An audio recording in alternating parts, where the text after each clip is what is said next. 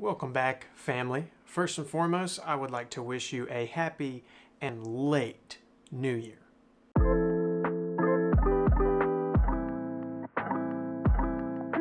I want to start my new and fresh year on YouTube off with a bang and I've wanted to make this video for quite some time actually. I just really haven't found a good time to do it but I just got done doing this for a client actually so I thought I'd go ahead and film it while I have all of my supplies out. So today we're going to learn how to convert really any type of tape into digital. Don't get me wrong, I love tape as much as the next guy. I think it looks super cool. I love the aesthetic of it, especially these days. It's coming back like crazy but it is really a dying breed as far as like players, camcorders, VCRs and stuff goes. You're running out of options to really be able to view that media.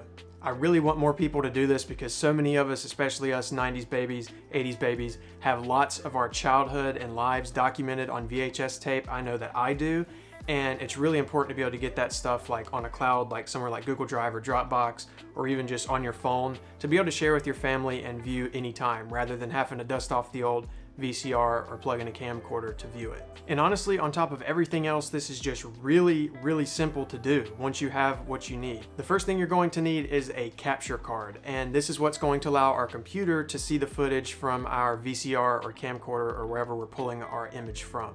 These can get really expensive really fast depending on your use case. I have what's called the VidBox 9.0, I'm pretty sure. I don't have the box for it anymore. But I bought this before I really knew what I was doing, and it comes with its own software and interface and all that, and we don't use any of that. I'll show you what we're gonna use here in a second. But I paid like $80 for this, and it's a bit overkill.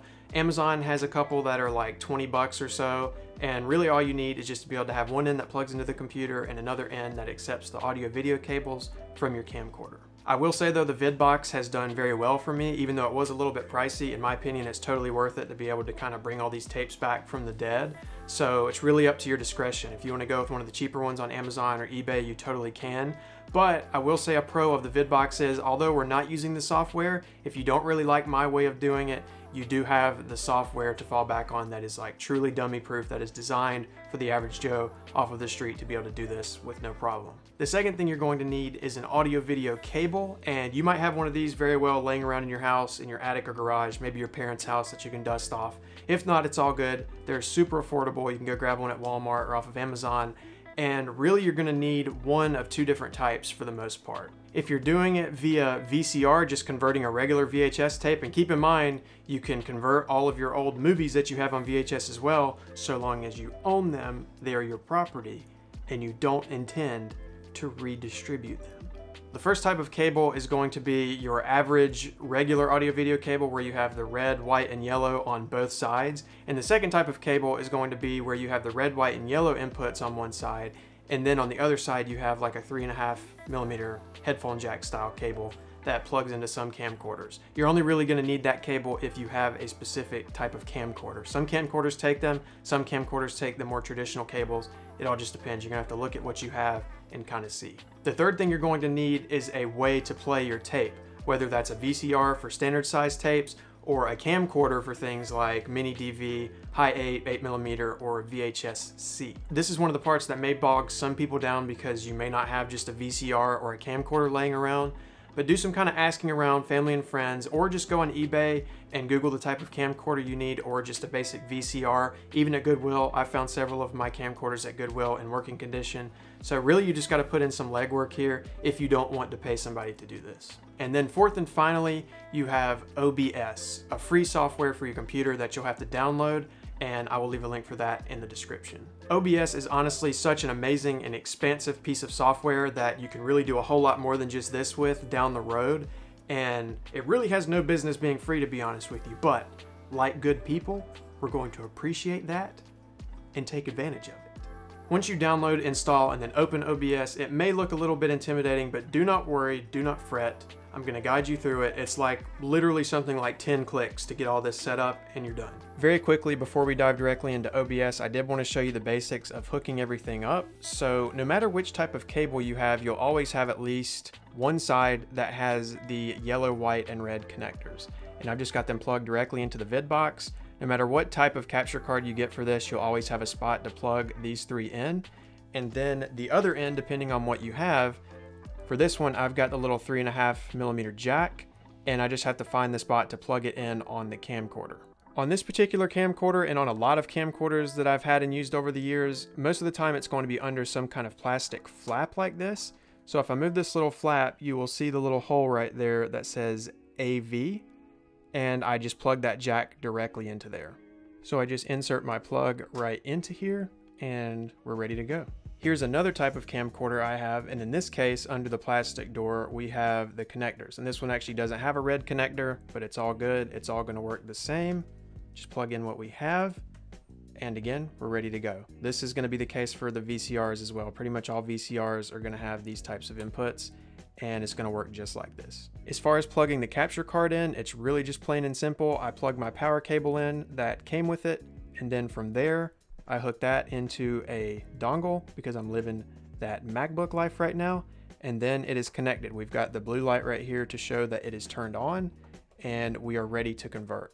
Okay, so now that we have everything plugged in and ready to go, it is time to build out our scene and sources within OBS. So if we open OBS, you'll see in the bottom left-hand corner, the scenes panel. You may already have a scene created. If so, move on to the next step. But if not, just hit the plus and create a new scene. Name it whatever you want. I already have one, so I'm not going to make another one. I'm going to hit cancel. And from there, you just need a scene before you can add any sources. That's all that that's all that means. So we'll go to sources next down here, right next to scenes, and hit the plus and go to video capture device. And I like to name this something relevant, so we're just going to call it camcorder. And if I go to device, we'll see vidbox. You may see whatever your device is, whatever the random name it may be. So we're just going to click that and you will see my camcorder that is in play mode right now with a tape in it, ready to convert. That is a ornament with a picture of me in it when I was like three or four. So now you know what I look like as a young child. Then for the preset, we're just gonna use the auto select 640 by 480. So we're just gonna hit okay. And if it for whatever reason doesn't fit or if the canvas looks wider or whatever, you just right click and you can click over here where it says resize output source size. And that'll automatically scale things how it's supposed to be. So our next step is going to be the same sources panel. We're going to click the plus again and go to audio input capture. And again, I want to name it something relevant, but we can't use the same name twice. So I'm just going to call this camcorder audio. And for device, we're just going to select the vidbox once again. We only have one more step to go before we can actually start converting the tape, and that's basically just creating a path for the video file to end up at so that we don't lose it somewhere in the bottomless pit of our files. So we're gonna go over here in the bottom right corner to settings, and then output, and then over here under the recording panel, we're gonna go to recording path and browse. I've already set mine up, but basically I go to documents, tape recordings, you can hit wherever you want it to go on your computer, and then just hit open and then the only other thing you really need to worry about here is your file type. Um, I like to use MP4. With tapes, it's one of those things you're not to notice a resolution, file size difference, whatever. It's a tape. It looks like crap. It's supposed to look like crap. So I just do MP4. Keep in mind if you do record MP4, if the tape, if the recording is interrupted for whatever reason, the software will not recover the whole thing. Uh, that's one of the warnings it gives you down here in yellow basically MP4 is not a supported file type for recovering if it fails. I'm not really worried about that with tapes. And as far as recording quality, you can go high quality or indistinguishable. I normally just leave it here and then just hit OK. One final thing to pay attention to before we actually hit record is making sure that your audio levels are in a good spot. So we see over here my camcorder audio under my audio mixer. This is the audio that I created from my input. And basically if we hit play, you'll see your audio levels. And I've got mine jacked all the way up right now. You're gonna wanna put this somewhere in like the middle or just where you're seeing the levels kind of hit a nice place so that you don't have a headache in post if you wanna clip it or anything. Make sure your sound isn't too blown out. You will also want to pay attention to any other audio sources that you have inside of your mixer. Pretty much what I do with anything else that I don't want to hear is I just turn it all the way down, make sure that they're both down, and I mute them. I hit the little horn right here and mute it. And after that, we just hit record and then play on our camcorder or VCR and you let it roll through. That is the one kind of tedious part about this whole thing is that you kind of just have to let the tape play through. These are not digital files. These are not like DVDs or anything like that. You can't just copy them or burn them and rip them. Uh, you kind of just have to let them play out. And It's a pain, but it's one of those things that it's really not that big of a deal and you can get a cup of coffee, you can go watch a movie, and it'll be done quick enough. And then make sure you hit stop recording when it's done, when it's on a blue screen or whatever. And then you can go to your path that you set, and it's all here. So I really hope that was easy and simple enough. Let me know if you have any questions in the comments. Please feel free to let me know if you got confused at any point. I'd be happy to help. And let's move over to the outro.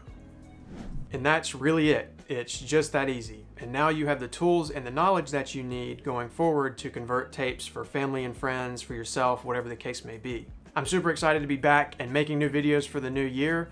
Let me know what you guys think. If you're new to the channel, welcome, get comfy, hit the like, hit the subscribe, get notified for future uploads. I really appreciate all you guys for tuning in. I plan to go super hard this year and I can't wait to make more.